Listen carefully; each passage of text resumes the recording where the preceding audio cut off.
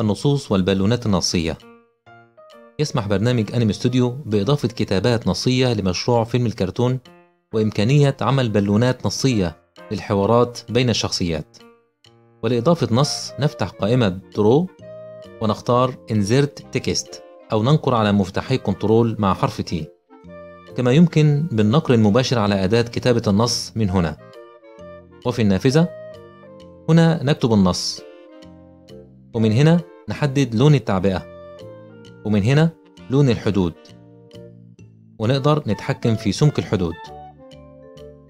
ومن هنا نحدد اتجاه الفقرة لليمين أو اليسار أو الوسط. ومن هنا نتحكم في حجم الخط. وعند اختيار Create One Shape سيصبح النص شكلا متجها ويضاف على الطبقة الحالية ولا يمكن إعادة تعديل النص. وهذا يتطلب بالضرورة أن تكون الطبقة الحالية طبقة متجهة. نلاحظ أن الكتابة أصبحت شكلا متجها مكونا من نقاط يمكن تحريكها وتعديلها. ومن هذه القائمة يمكن اختيار نوع الخط المناسب.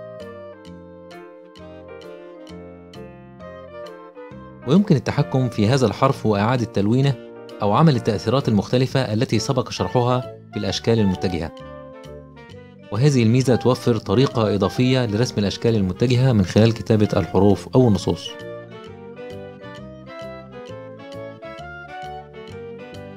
أما اختيار Create Text Layer فينشئ النص على طبقة جديدة من النوع النصي وتتيح هذه الطبقة إمكانية تعديل النص فيما بعد.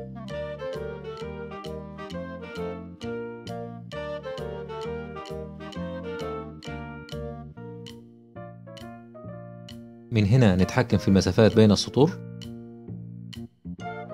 ومن هنا المسافات بين الحروف. نصغر حجم النص. ومن هذه القائمة نضيف بالون حول النص ونختار شكل البالون المناسب من المعروض بالقائمة.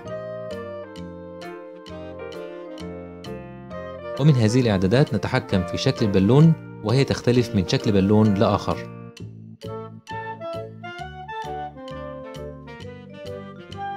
من هنا نغير لون البالون ومن هنا لون الحدود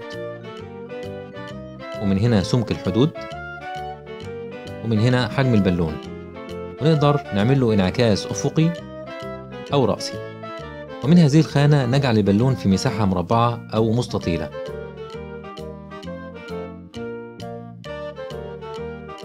والبرنامج لم يدعم بعد الكتابة بالعربية حتى هذا الإصدار.